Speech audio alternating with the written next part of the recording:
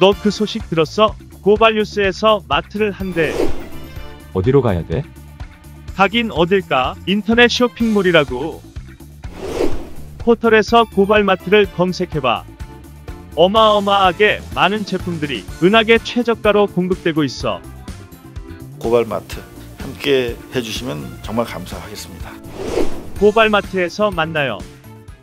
이스라엘 군수업체인 셀레브라이트사가 한동훈 검사장의 휴대전화인 아이폰 11의 포렌식이 가능하다고 밝혔다고 아주경제가 4일 보도했다. 아주경제에 따르면 셀레브라이트사 관계자는 취재진과의 통화에서 현재 셀레브라이트 공식 홈페이지에 나와 있는 아이폰 11 iOS 버전까지는 비밀번호 해제와 포렌식이 가능하다고 말했다. 현재 셀레브라이트사의 공식 홈페이지에는 아이폰 기기의 경우 아이폰 4S에서 아이폰 11까지 또한 운영체제는 iOS 5에서 iOS 13.41까지 지원된다고 게재돼 있다.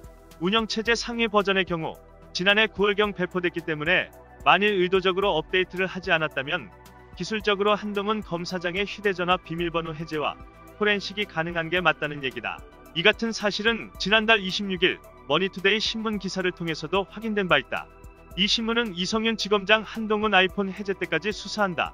수사팀은 반발이란 제목의 기사를 통해 대검 포렌식 센터는 2018년 이스라엘 정보통신업체 셀레브라이트사와 휴대전화 잠금 해제와 정보 추출 기능이 담긴 소프트웨어를 빌려 쓰는 방식의 라이센스 계약을 체결했다고 전했다. 그러면서 한동훈 검사장의 휴대전화 기종인 아이폰 11의 잠금 장치를 풀기 위해선 셀레브레이트사로부터 업데이트된 서비스를 받기 위해 추가 비용을 지불하고 새로 계약을 맺었을 것으로 추정된다고 보도했다.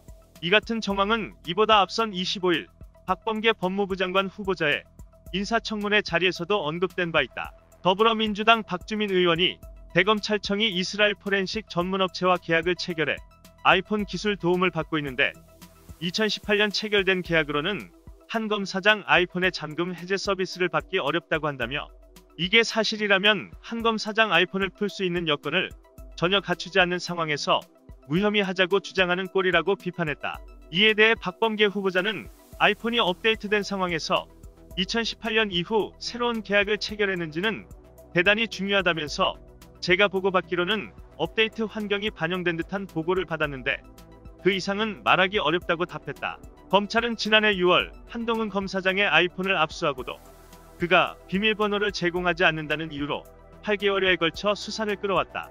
그 사이 검찰 수사팀은 이성현 서울중앙지검장을 찾아가 한동훈에 대한 무혐의 처분을 요구하는 하극상 사태를 벌였고 전문가들 사이에는 적폐 검찰이 서둘러 무혐의 처분을 내리려는 이유가 포렌식 진행 전에 사건을 종결해 한동훈 검사장에게 휴대전화를 안전하게 돌려주기 위한 것이 아니냐는 지적이 나온다.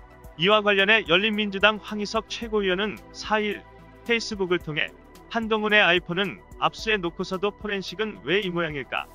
안 하는 것일까? 못하는 것일까라는 물음표를 던지고는 그 비밀을 포렌식을 담당하고 있는 검찰 내 전담 조직은 알고 있을 것이라고 꼬집었다. 그 전담 조직이 스스로 업무를 방기하여 직무유기죄를 저지르고 있는지 아니면 포렌식을 하지 않도록 누군가가 압력을 행사하거나 방해하여 직권남용이나 공무집행방해죄를 저지르고 있는지도 감찰만 해보면 금방 답이 나올 것이라고 덧붙였다. 하지만 박범계 장관이 포렌식 강행과 수사의 질을 강력히 밝히고 있는 만큼 한동훈의 핸드폰은 조만간 열릴 것으로 보인다. 윤석열 부부와 2,700통이 넘는 통신 접촉을 이어온 한동훈 검사장의 핸드폰은 그야말로 검언 유착 의혹의 판도라 상자로 평가된다. 채널A 이동재 전 기자를 포함해 친검, 한동훈계 기자들이 잔뜩 떨고 있다는 후문이다. 기레기들에게 고발뉴스 이상호 기자가 외친다. 애들아 진실은 침몰하지 않는단다. 이상 뉴스 검색이었습니다. 구독과 좋아요 부탁드립니다.